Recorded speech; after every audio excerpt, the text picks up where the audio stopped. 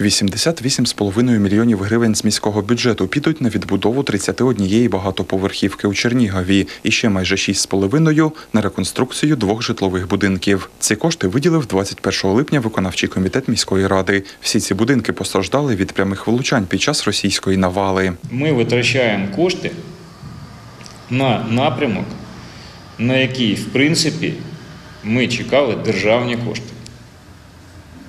Я знову без політики, без ні...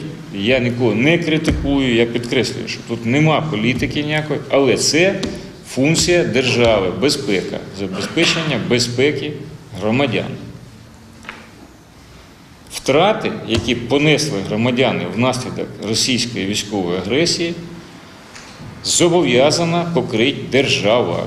Загалом у Чернігові 146 багатоквартирних будинків були пошкоджені прямими влучаннями російських снарядів та бомб. 20 із них взялася відновити обласна військова адміністрація. А от решта поки залишаються проблемами місцевої влади. Кошти на їх відновлення доводиться перенаправляти з інших статей видатків. Зменшуємо утримання е, очисних споруд, е, зменшуємо поточний ремонт утримання фонтанів, зменшуємо е, ремонт внутрішньобудинкових доріг, капремонт зупинок, зменшуємо МЗО по вулиці Київській, зменшуємо е, капітальний ремонт парка Цюбинського, тобто вал, там ці кошти вже не потрібні. Дрібний ремонт вулично-дорожньої мережі, середній ремонт вулично-дорожньої мережі на загальну суму 55 мільйонів, будівництво майданчику е, на, на Дрозда На саму лише проєктно-кошторисну документацію для 33 будинків виділили 1 мільйон 152 тисячі гривень. Відновлення будинків, які постраждали від прямих влучань, ускладнюється ще й бюрократичними процедурами. Чим більший об'єм робіт, тим складніше його планувати, і тим більше треба пояснювати державній казначейській службі.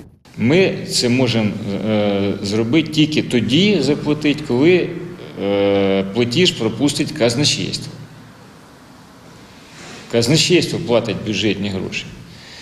Казначейство може заплатити тільки тоді, коли воно розуміє, згідно там, якого проєкту, які виконані роботи, які розцінки, скільки цеглин там покладено, скільки е, кілограм цементу використано, скільки фарби, скільки там гвістків забито, чи скільки рубероїду, скільки робочих годин витрачено згідно ДБНівських норм.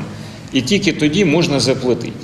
Ремонтуватимуть насамперед ті будинки, які реально вчасно підготувати до опалювального сезону. У Чернігові він розпочнеться 15 жовтня. Для цього міська рада вже виділяла 130 мільйонів гривень на заміну вибитих шибок у під'їздах та ремонт покрівель. Також цього тижня започаткували програму часткової компенсації вартості ремонту пошкоджених вікон для незахищених груп населення. Перші 15 мільйонів гривень із запланованих на неї 75 виконавчий комітет виділив 21 липня. Ремонт будинків з особливо складними пошкодженнями доведеться відкласти на потім, пояснив Владислав Трошенко. Той же самий проєкт. Ну, якщо складний будинок, ну, швидше, ніж за 2-3 тижні, е, ніяка проєктна організація. А е, складний будинок це ми замовляємо державні, е, державні інститути, і це взагалі півтора місяця.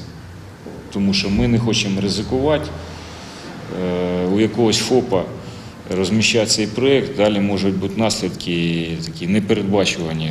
Відновлювати пошкоджені багатоповерхівки місто взялося попри суттєві недонадходження до бюджету. Через війну Чернігівська скарбниця недоотримає 1 мільярд 300 мільйонів гривень. Тож міська рада направить лист до прем'єр-міністра та міністра фінансів щодо прогнозованих об'ємів доходів та видатків бюджету Чернігова на 2022 рік, а також обсягів необхідної субвенції для покриття касового розриву. Лист, е, щоб він був зрозумілий, тобто які, які були планові показники, які, коригування несла російська військова агресія, що ми були змушені е, профінансувати е, непланово з бюджету, незважаючи на нестачу надходжень.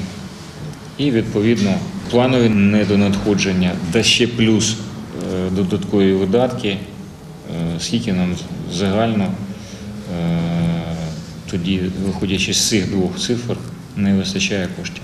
За даними фінансового управління, з урахуванням прогнозних недонадходжень та вимушених додаткових непланованих видатків, діра в бюджеті Чернігова наприкінці 2022 року сягатиме близько 2 мільярдів гривень.